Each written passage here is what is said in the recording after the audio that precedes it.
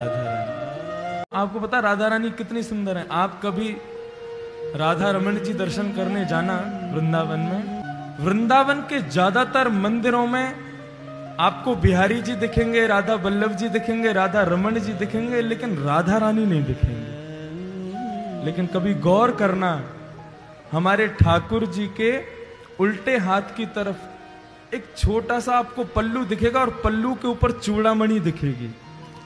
वो श्री राधा रानी है।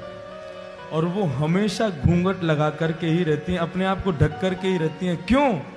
क्योंकि यदि उन्होंने अपना घूंघट उठाड़ दिया तो वो इतनी सुंदर है कि उनको ही देखेगा आदमी, कृष्ण को देखेगा ही नहीं, बिहारी जी को कोई निहारेगा ही नहीं, सब उनकी सूरत पर ही मोहित हो जाएँगे। इसलिए राधा रानी ने अपने चेहरे को ढक करके रखा है वृंदावन में। वृंदावन में राधा रानी का दर्शन नहीं है।